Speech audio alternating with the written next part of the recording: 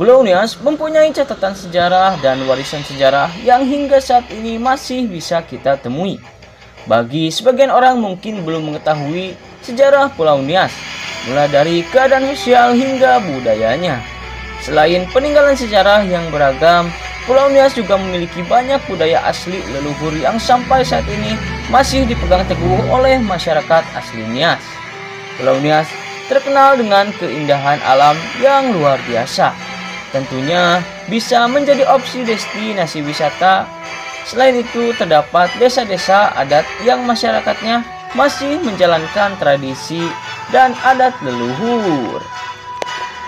Dan inilah sejarah Pulau Nias yang jarang diketahui melansir dari beberapa sumber.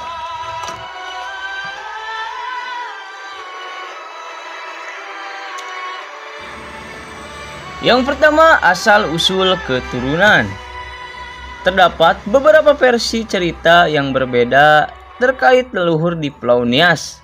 Tetapi ada dua pendapat mengenai asal-usul Pulau Nias, yaitu berasal dari Mongoliden dan dari suku Naga dan Khasi di Assam Burma.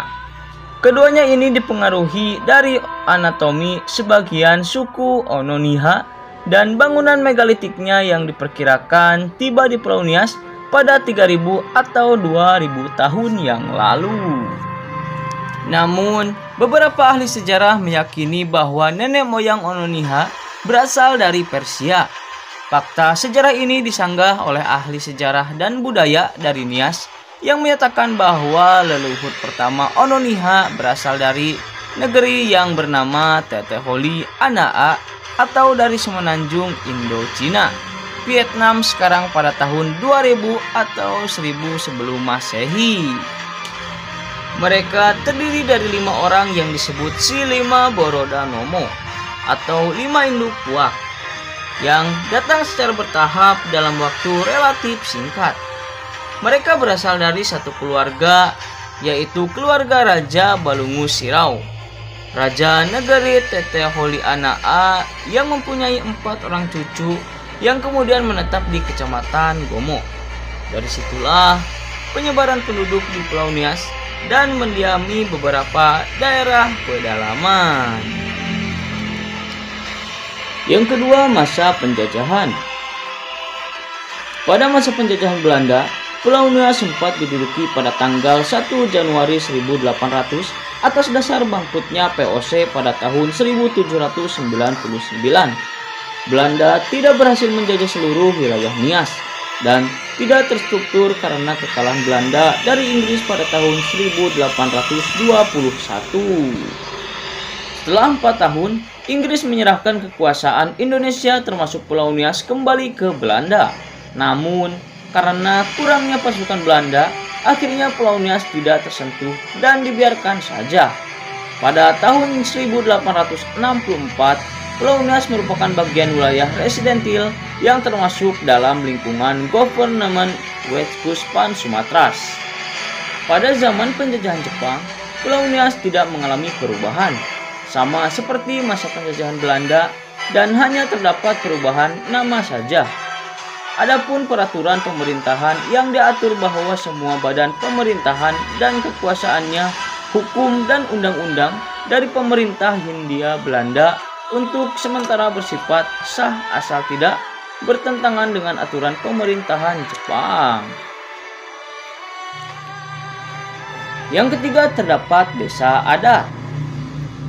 Pulau Nias juga mempunyai desa adat cukup terkenal yang bernama Desa Bawo Mata Luo di Kecamatan Panayama, Teluk Dama, Kabupaten Nias Selatan. Di sini masih terdapat sebuah bangunan bernama Rumah Raja yang memiliki arsitektur unik dan pastinya masih tradisional. Rumah ini juga terkenal dengan ukiran-ukiran khas di setiap sudut bangunannya. Terdapat sebuah lambang bernama holo-holo yaitu tanda kebesaran rumah raja.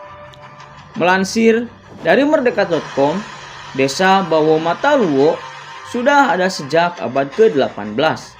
Letak desa ini berada di kaki bukit pada ketinggian 270 meter di atas permukaan laut, yang tentunya aman dari gelombang tsunami. Dalam kompleks desa Bawo Mataluwo ini terdapat salah satu peninggalan sejarah Pulau Nias di masa lampau yaitu peninggalan megalitik.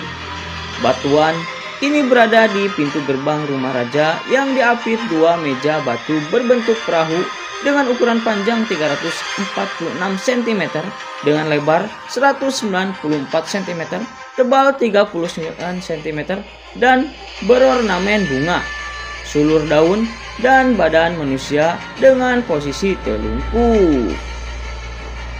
Demikianlah penjelasan kali ini. Mohon maaf bila ada salah kata dan penjelasan yang kurang tepat.